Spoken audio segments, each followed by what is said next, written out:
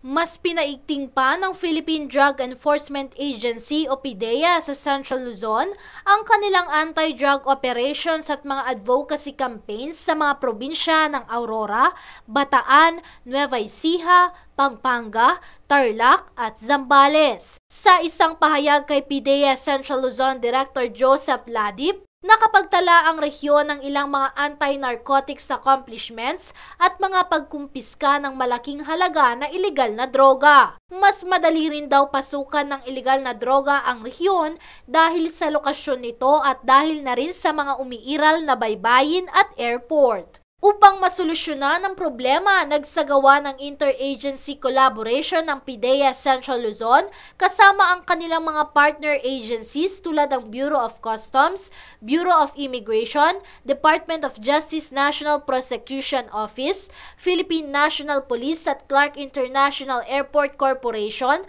at sila ay pumirma ng isang Memorandum of Agreement noong August 27, 2014. Sa napirmahang MOA, lumikha ito ng Clark International Airport Interagency Drug Interdiction Task Group na may layuning supuin ang pagpasok ng ilegal na droga sa nasabing paliparan.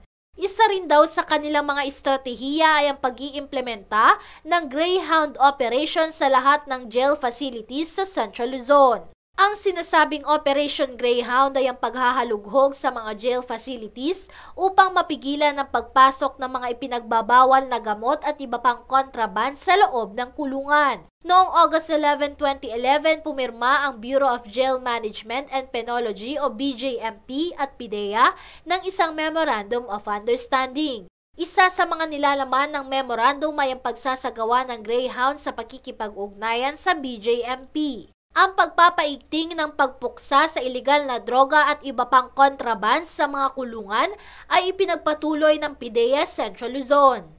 Nagsagawa ito ng kanilang unang Operation Greyhound sa Zambales Provincial Jail nitong Oktubre kung saan mahigit 10 pirasong sachet ng shabu ang nakumpiska nila. May mga isinagawa na rin daw na iba pang Greyhound operations sa PIDEA Central Luzon sa iba't ibang BJMP facilities, district at provincial jails sa rehiyon mula buwan ng Oktubre hanggang sa kasalukuyan.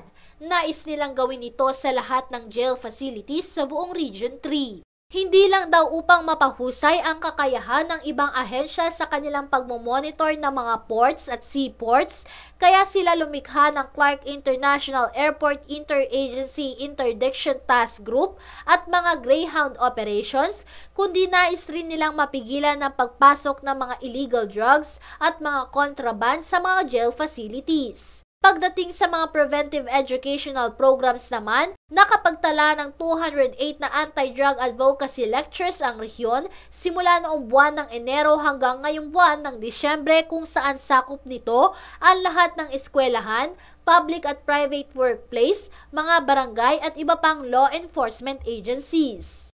Ito po si Zali Salak nag-uulat para sa News 3.